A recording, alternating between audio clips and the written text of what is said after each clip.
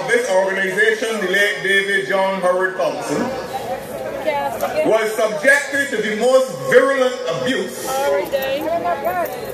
by a gentleman who is supposed to be the candidate for the Barbados Labour Party in the constituency of St. Michael South.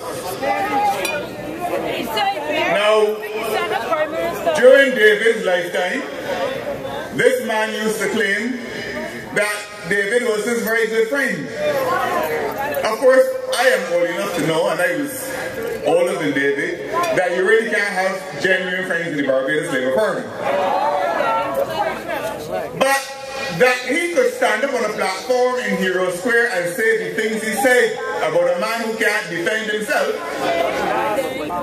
a man whose spouse, whose wife is, whose widow is a member until Parliament was dissolved yesterday of the Parliament of Barbados.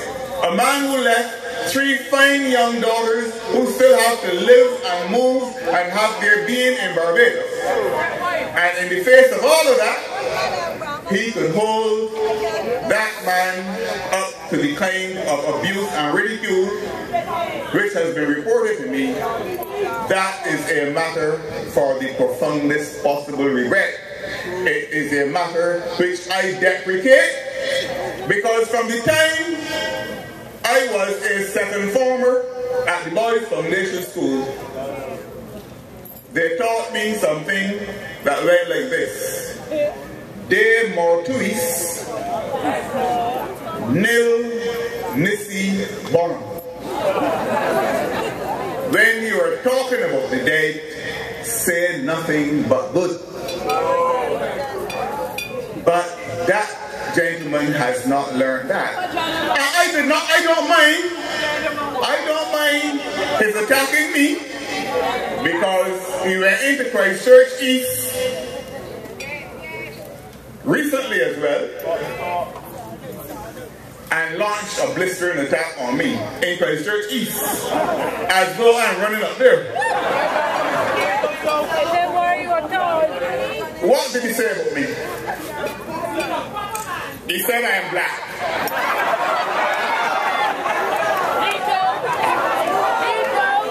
But as a fact, I am black and I am proud.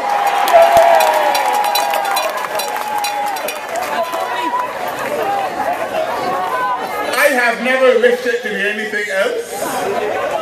I'm a proud black. My father was a black man. My mother was a black woman. So what color does he, does he expect me to be? He's a boy, not a girl. He said, according to reports reaching me, that my nose is broad.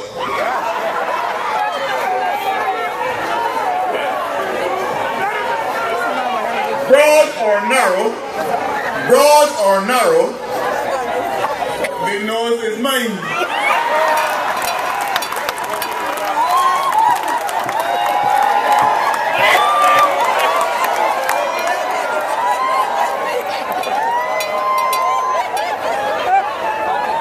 And I am very particular as to what I allow my nose to smell.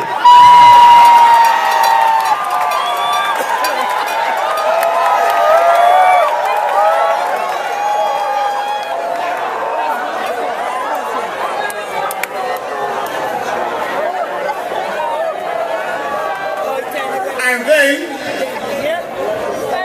as he said, as he said before, uh, the, the, he was speaking in Christ Church East, but he said it again up there. He said I'm ugly. Now, I go across Barbados.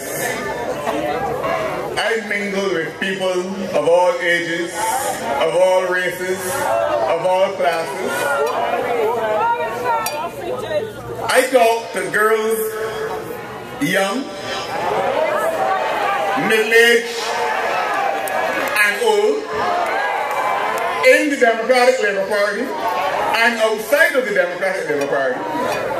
And not one of them has ever said to me, you know, Freundel, I think you're ugly.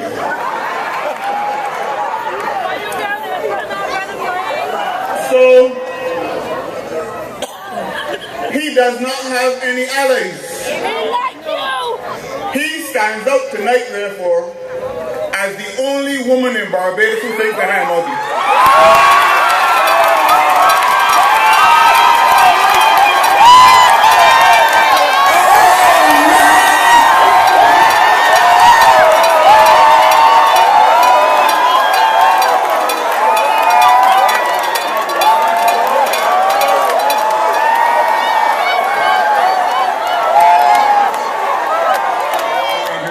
Foundation School at age 9 on the 13th day of September 1960.